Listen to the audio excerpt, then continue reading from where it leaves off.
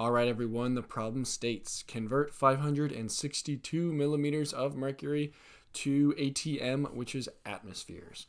So this is a simple one-step conversion problem where we are starting with 562 millimeters of mercury and we want to convert that to so many atmospheres.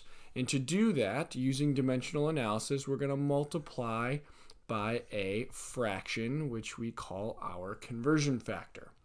So for our conversion factor to solve this problem, we need to know the relationship between these two units, between millimeters of mercury and atmospheres. So in other words, how many millimeters of mercury equals how many atmospheres? We need to know this relationship. So there's a number of relationships we could use.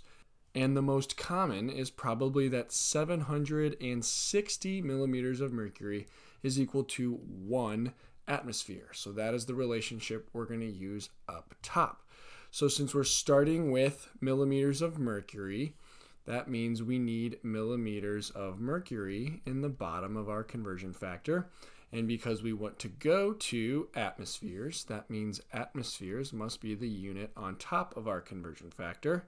And now I just fill in the relationship where 760 millimeters of mercury is equal to one atmosphere. Okay, and again, we're doing this so that our units cancel out. Because millimeters of mercury is on top to start and on bottom of our conversion factor, they will cancel out and we are left with just atmospheres, which is exactly what we want.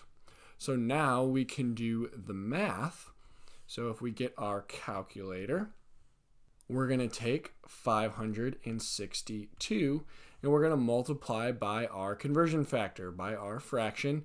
So if you're multiplying by a fraction, you're multiplying by the top of the fraction and dividing by the bottom. And we're going to skip anything that's a 1 because it won't change our answer. So we're going to skip multiplying by 1 and just divide by the bottom, which is 760. We hit enter on our calculator and we get 0.73947368842. Let's round that to three significant figures because that is how many significant figures is in the number in the problem. So we would get 0.739. So 0.739. Okay, there you have it. Final answer for converting 562 millimeters of mercury to atmospheres. It would be 0.739. Alright, if you want to see another example, click in the top right. Please like this video if it helped you in any way. Feel free to look in the doobly-doo below for additional help and resources. Please subscribe and ring the bell to get notified for new videos. And thank you, thank you so much for watching.